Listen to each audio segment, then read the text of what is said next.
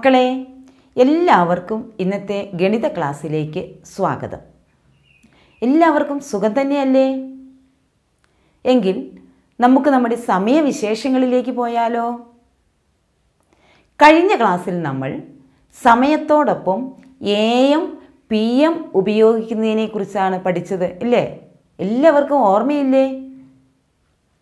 എപ്പോഴാണ് നമ്മൾ സമയത്തോടൊപ്പം എ എം ചേർക്കുന്നത്?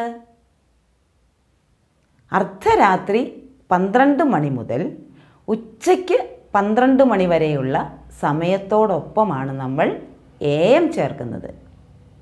എങ്കിൽ പി എമ്മോ ഉച്ചയ്ക്ക് പന്ത്രണ്ട് മണി മുതൽ അർദ്ധരാത്രി പന്ത്രണ്ട് മണി വരെയുള്ള സമയത്തോടൊപ്പം നമ്മൾ പി എം ചേർക്കുന്നു. എല്ലാവർക്കും ഓർമ്മയുണ്ടല്ലോ? മക്കളെ നിങ്ങളെല്ലാവരും ദിവസവും പത്രം വായിക്കാറില്ലേ? കഴിഞ്ഞ രണ്ടാഴ്ച മുമ്പത്തെ പത്രത്തിൽ നമുക്കെല്ലാം സന്തോഷകരമായ ഒരു വാർത്തയുണ്ടായിരുന്നു. എന്താണെന്നറിയാമോ? കോവിഡ് മഹാമാരിയെ അതിജീവിച്ച് നമ്മുടെ വിദ്യാലയങ്ങൾ തുറക്കാൻ പോവുകയാണ്. തുറന്നു കഴിഞ്ഞാൽ ആദ്യം തുറക്കുന്നത് ഒന്ന് മുതൽ അഞ്ച് വരെയുള്ള ക്ലാസ്സുകളെയാണ്. അപ്പോൾ നിങ്ങൾക്കെല്ലാവർക്കും സന്തോഷമായി ഇല്ലേ? കൂട്ടുകാരോടൊപ്പം കളിച്ച് ചിരിച്ച് നമുക്ക് സ്കൂളിൽ പോകാമല്ലോ അല്ലേ എങ്കിൽ സ്കൂളിൽ ചെന്ന് കഴിഞ്ഞാൽ നമ്മളുടെ വിദ്യാലയത്തിന്റെ പ്രവർത്തന സമയം എത്ര മണി മുതൽ എത്ര മണി വരെയായിരിക്കും? ആ അവിടെ ആരോ പറയുന്നുണ്ടല്ലോ. പത്ത് മണി മുതൽ നാല് മണി വരെ അല്ലേ? എങ്കിൽ അതിനെ ആ സമയത്തെ നമുക്ക് എ എം പി എമ്മിലേക്ക് മാറ്റിയാലോ? പത്ത് എ എം മുതൽ നാല് പി എം വരെ ഇല്ലേ? ആ. എങ്കിൽ ആ സമയത്തെ നമുക്ക് ഇരുപത്തിനാല് മണിക്കൂർ ക്ലോക്കിലേക്ക് മാറ്റിയാലോ? പത്ത് മണി മുതൽ പതിനാറ് മണി വരെ. എങ്കിൽ ഉച്ചഭക്ഷണ സമയവും രാവിലത്തെയും വൈകുന്നേരത്തെയും ഇന്റർവൽ സമയവും ഒഴിവാക്കിയാൽ നമ്മുടെ വിദ്യാലയത്തിന്റെ പ്രവർത്തന സമയം ഒരു ദിവസം എത്ര മണിക്കൂറായിരിക്കും? ഒന്ന് കണക്ക് കൂട്ടി നോക്കിക്കേ നിങ്ങൾ. ഉച്ചഭക്ഷണ സമയത്തിന് നമ്മൾ ഒരു മണിക്കൂർ ഉപയോഗിക്കുന്നു. ഇന്റർവെൽ സമയം പത്ത് മിനിറ്റ് വീതം ഉപയോഗിക്കുന്നു. അപ്പോൾ ആകെ എത്ര മണിക്കൂർ ഉപയോഗിക്കും?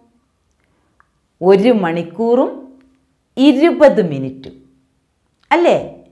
നിങ്ങൾക്കത് തന്നെയല്ലേ കിട്ടിയത്? എങ്കിൽ നമ്മുടെ വിദ്യാലയത്തിന്റെ പ്രവർത്തന സമയം എത്ര മണിക്കൂറായിരിക്കും? നാല് മണിക്കൂർ നാൽപ്പത് മിനിറ്റ്. എല്ലാവർക്കും ഉത്തരം കിട്ടിയില്ലേ? ടീച്ചർ കഴിഞ്ഞ ദിവസം നിങ്ങളോട് ഒരു ക്ലോക്ക് നിർമ്മിക്കാൻ പറഞ്ഞായിരുന്നു ഇല്ലേ? എല്ലാവരും നിർമ്മിച്ചോ? ആ മിടുക്കൻ. എങ്കിൽ ടീച്ചർ ഒന്ന് ചോദിക്കട്ടെ?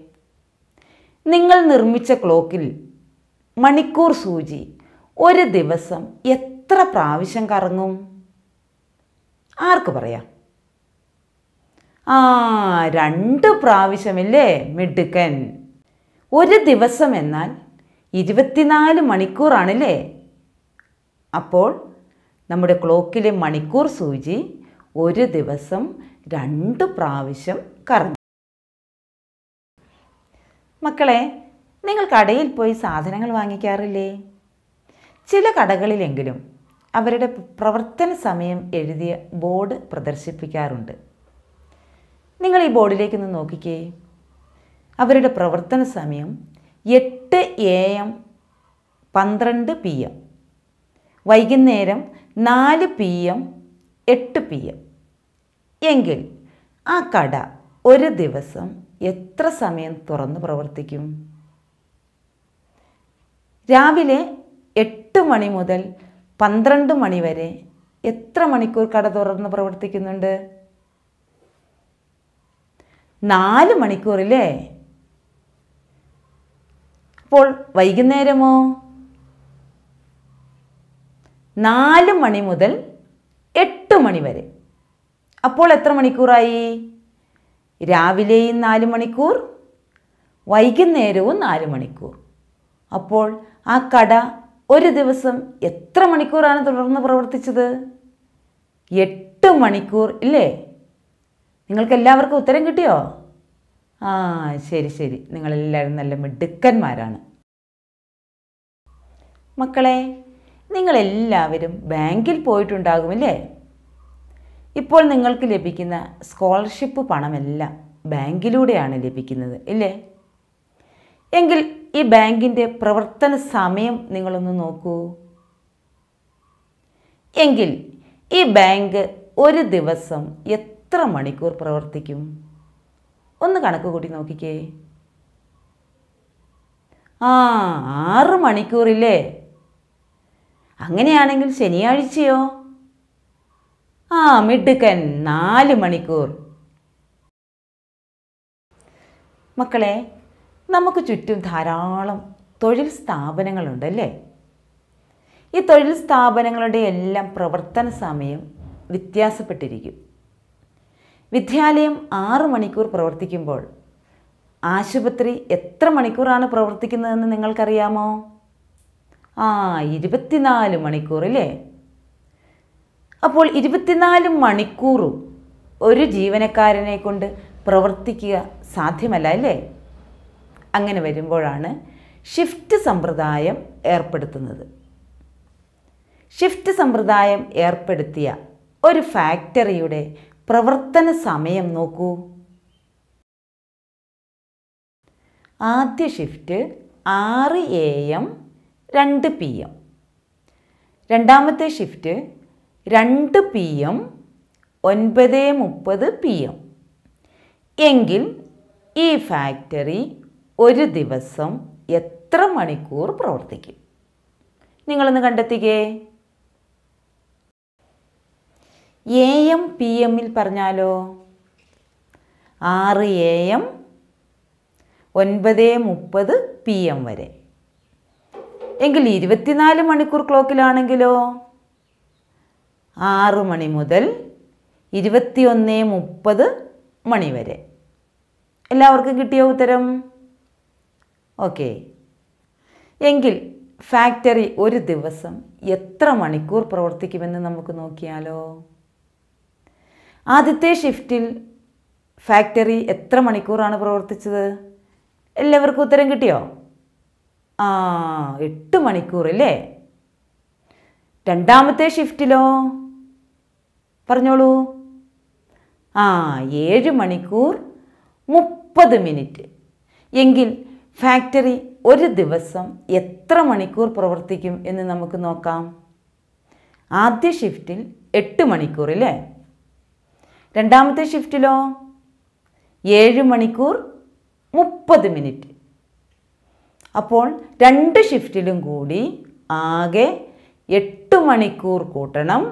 ഏഴ് മണിക്കൂർ മുപ്പത് മിനിറ്റ്. അപ്പോൾ നമുക്ക് എത്ര ഉത്തരം കിട്ടും? പതിനഞ്ച് മണിക്കൂർ മുപ്പത് മിനിറ്റ്. ഇല്ലേ? നിങ്ങൾക്ക് എല്ലാവർക്കും ഉത്തരം കിട്ടിയല്ലേ? എങ്കിൽ ഫാക്ടറി പ്രവർത്തിക്കാത്ത സമയം എത്ര മണിക്കൂറാണ്? ഒന്ന് എ എം പി എമ്മിൽ പറയാമോ? ആ ഒൻപത് മുപ്പത് പി എം മുതൽ ആറ് എ എം വരെ.